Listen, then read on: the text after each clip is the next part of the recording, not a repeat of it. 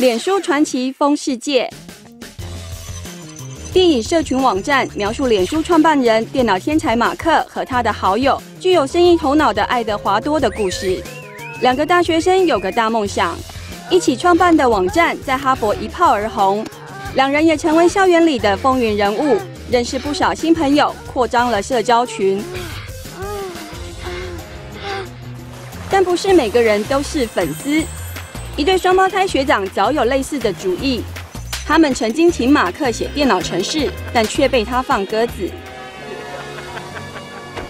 创办脸书后，马克也认识了业界的学长，包括 Napster 音乐分享平台创办人 CN。马克听从 CN 的建议，搬到加州，跟好友及合伙人爱德华多也开始有摩擦。脸书用户最近已突破五亿。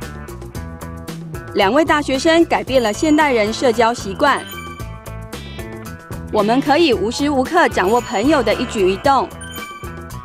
应用程式开发者也参一脚，让网民享受无限的游戏与乐趣，让原本已大受欢迎的脸书变得更容易上瘾。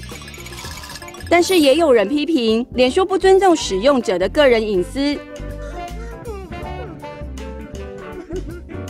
为了改善形象，马克将捐助一亿美金教育基金给纽泽西州。